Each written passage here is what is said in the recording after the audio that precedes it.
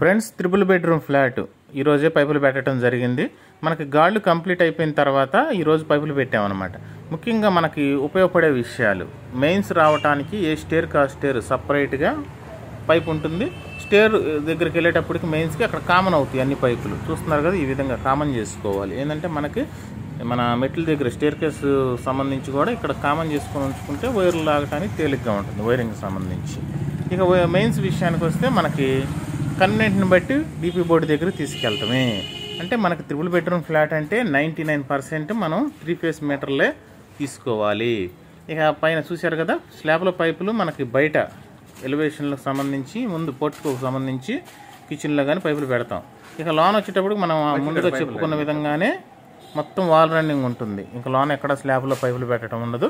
కొన్ని apartment style వర్క్కి వచ్చేటప్పటికి మనకి స్లాబ్ల్లో కూడా పైపులు ఎక్కువగా పెట్టడం జరుగుతుంది. అంటే అక్కడ పరిస్థితిని బట్టి మనం నడుచుకోవడం జరుగుతుంది. అయితే ఇక్కడ మామూలుగా మొత్తం వాల్ రన్నింగ్ చేసుకోవడం జరిగింది. ఇక్కడ మనం మెయిన్స్ గమనిస్తే ఫ్రెండ్స్ మనకి నిలువు చూశారు కదా మెట్ల దగ్గర లేచినప్పుడు ఇక్కడ నుంచి మనకి అంటే ఇది చిల్డ్రన్ బెడ్రూమ్ అనమాట అంటే మూడు బెడ్రూమ్లు ఇది ఒక బెడ్రూమ్ అనమాట ఇక్కడ నుంచి మనకేందంటే గమనిస్తే మీకు ఒక అవగాహన కోసం.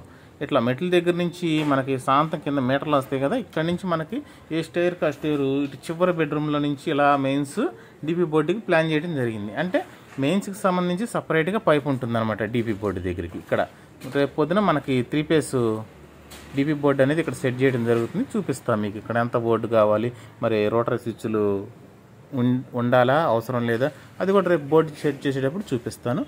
ఇక మెయిన్స్ విషయానికి వస్తే ఏ బెడ్రూమ్కి సంబంధించి ఆ బెడ్రూమ్కి. అంటే మూడు బెడ్రూమ్లకు సంబంధించి మెయిన్స్ సపరేట్గా పైప్ వేసేసాం. డబల్ పైప్ అనమాట ఈ విధంగా మనకి ప్రతి రూమ్లో కూడా ఇలా అంగుళం పైపుని ఈ విధంగా రన్ చేయడం జరిగింది. అంటే ప్రతి మొత్తం మనకి వాల్ రన్నింగ్గా ఉంటుంది.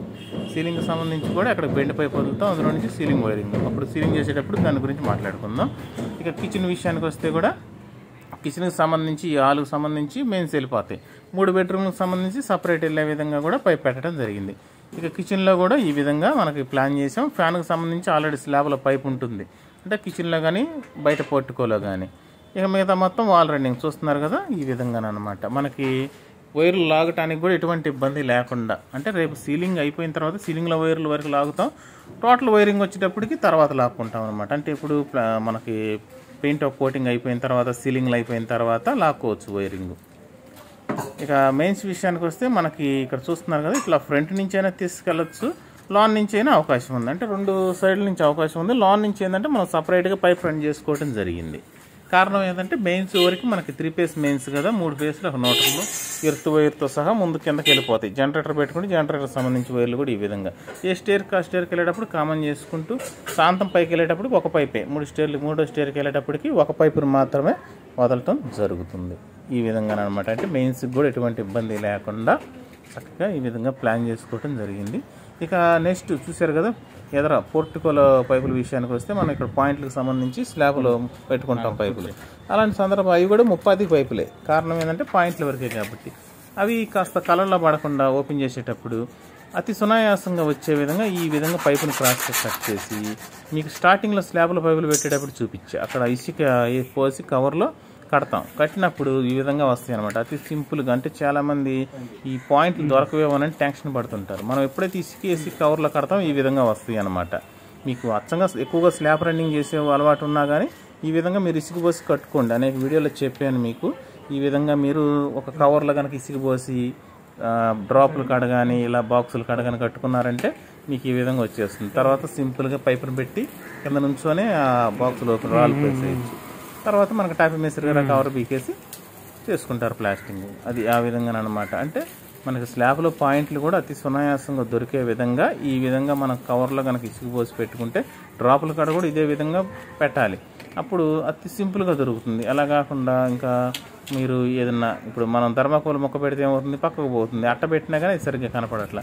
అలా కాకుండా ఇలా కవర్లో ఇసుక పోసి పెడితే ఆ ఇసుక మూట అనేది బాక్స్ కింద పెట్టుకుంటే కదలకుండా ఉంటుంది.